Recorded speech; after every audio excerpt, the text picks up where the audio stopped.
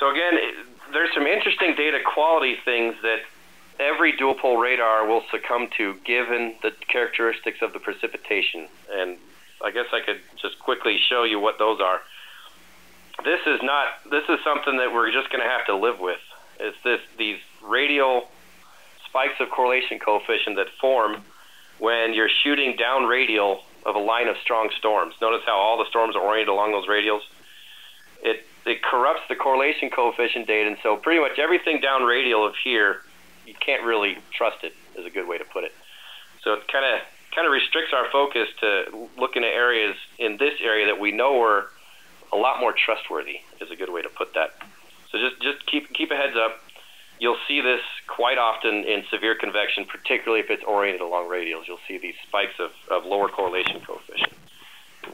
Have to live with them. You know, we discuss it in the training what its implica- implications are.